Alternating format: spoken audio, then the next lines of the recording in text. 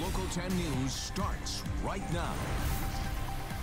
All right, off the top at 6:30, problems at a popular pier in Dania Beach. The important repairs now underway after a local 10 viewer reached out. COVID cases continue climbing across the country. What experts are blaming the surge on, plus the new requirements in some classrooms this school year. A contest you'll only see in the Florida Keys. A bunch of lookalikes taking over. How COVID-19 though changed this competition during its 40th year.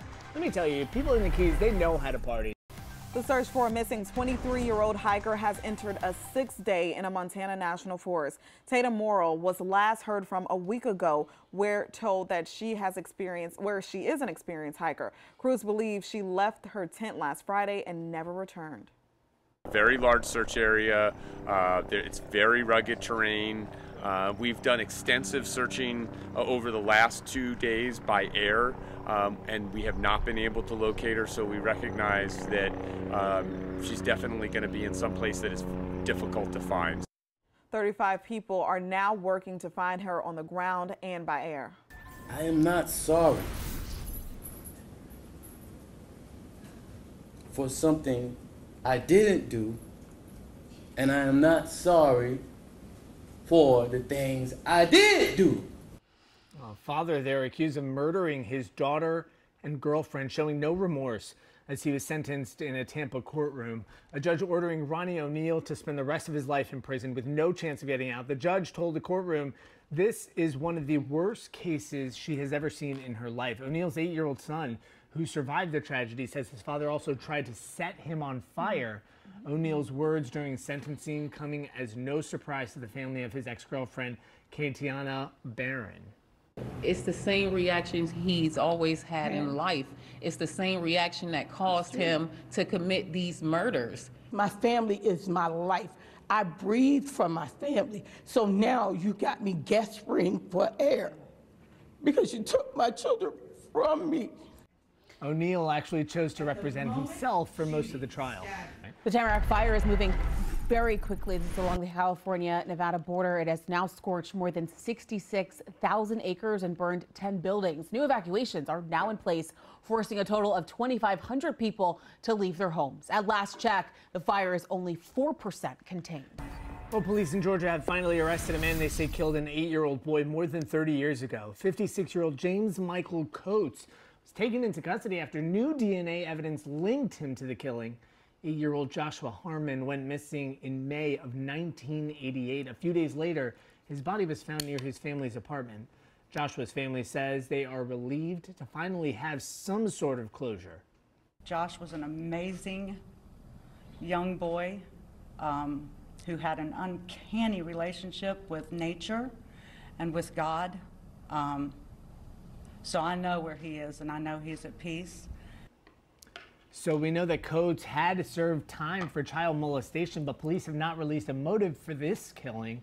Investigators have exhumed the boy's body in hopes of finding even more evidence. A story out of a Hollywood movie coming out of Los Angeles. Police say a man jumped across several rooftops after allegedly setting a church cross on fire. A witness says the man threw his clothes off the church roof and tried to push the cross over, but when he couldn't, he lit it on fire. The man later tried to run from officers by jumping roof to roof. He then straddled a utility line and used it to pull himself to another rooftop. This happening before he used wires to reach yet another structure. Police arrested him moments later. An ABC exclusive interview with Glee star Naya Rivera's family one year after her tragic death. Her mother and sister speaking out about the actress's final moments and her powerful legacy. And do you remember what you said in those final FaceTime I, moments? I told her, I go, well, the water's getting choppy. And I said, I love you. And uh, call me. Uh, call me when you get off the water. Naya's four-year-old son was found alone on a boat they rented, and Naya was later found dead back in July of 2020 after a five-day search. The whole interview can be seen on ABC News. Another day of demonstrations. What do we want? Freedom! As calls for change continue. Freedom for Cuba. Everyone in the crowd sharing a connection to the communist country. One protester, Rosa Iglesias, a Cuban native who says she left the island at 19. Similar stories among the Cuban protesters. They were some of the thousands who came out to the Freedom Tower, a landmark for Cubans seeking a better life. Saturday's massive rally marking the seventh straight day of protests in South Florida, with many calling on President Biden to take action. The unprecedented uprisings coming as conditions in Cuba continue to deteriorate, problems only made worse by the recent pandemic. This overhead view shows just how large the crowd became. People also gather around in Hialeah, where many march for blocks as the demands to help the Cuban people continue to grow. These protesters say they have no plans to stop anytime soon. A shooting interrupting the Nationals Padres game in Washington, D.C. Saturday night. I thought it was fireworks. Yeah, fireworks at first. D.C. police say people in two cars started shooting at each other outside Nationals Park, hitting a woman who was outside the stadium but attending the game.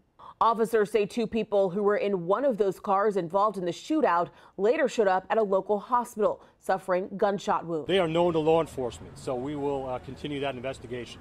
Police also finding their car, the second car, and the people inside still missing. At no time during this incident were individuals inside the stadium attending the game in any type of danger. This was not an active shooter investigation or incident. Fans quickly rushing from their seats as this all happened. Ask that you remain inside the stadium at this time. Others taking shelter. Nobody really knew what to do, and so people started hitting the deck, and we were like lying on the ground because we thought there was somebody above us with a gun.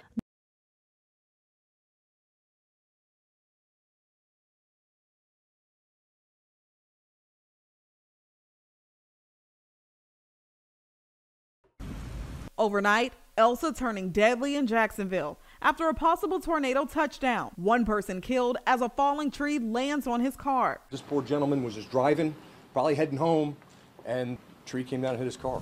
This security camera capturing strong winds barreling through the street, the storm wreaking havoc. I can't believe this really happened and so fast, so much damage. And just looks so violent. Causing this tree to crash into an apartment building. This power line right here came down and hit right on this fence and went boom.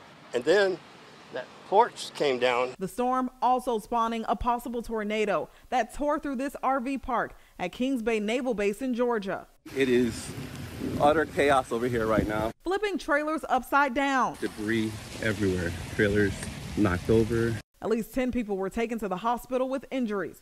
According to the Navy, there appears to be damage to the buildings on the base, but a spokesperson confirms there's no damage to the submarine stored at the base. Elsa now heading north after pummeling Florida Wednesday, leaving water rescues, flooded roads, and thousands without power.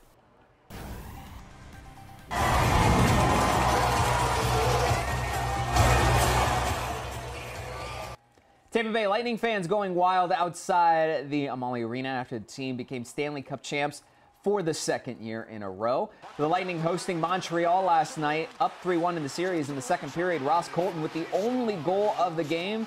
It's all Tampa Bay would need. They get another championship title. Remember, they eliminated the Florida Panthers early on, so they're now the champs once again, and at least the Panthers can say they lost to the eventual champs. They're the quote second best team. They can say whatever exactly. they want. It makes them feel better about it. Exactly. I don't know if you peeped in that last soundbite from the Marlins. They were he was like, they're a good team, but we're better, and that's probably what Tampa's saying to everybody. All right, well, there you go. Confidence, right? All right, guys. Now we're going to switch it over to the NBA Finals. Some fans have been doing the impossible to pay for their tickets. A Phoenix Suns fan actually sold his car just to go to Game One in person. This is what he did. Not judging. Okay. But judging. All right. Yeah, I know. I, I might be. Donovan Haycoop sold his car for 2,500 bucks. That was enough bucks. Get it? Because they're playing Milwaukee. Ooh. That's for him to get two tickets. Never say we don't do irony here and puns. He said it was worth every penny. We haven't been in the finals 28 years. I've only been alive for 24 years, so uh, it sounds like a once in a lifetime opportunity to me. So I'm gonna make it happen. Love it. I really? They, uh, yeah, surprisingly, I, I told my mom I was like, I'm gonna sell my car, get finals tickets, and she goes, awesome, you know. Okay. No word on how he plans to get home or if he'll even make it in time for game two later tonight. Best of luck.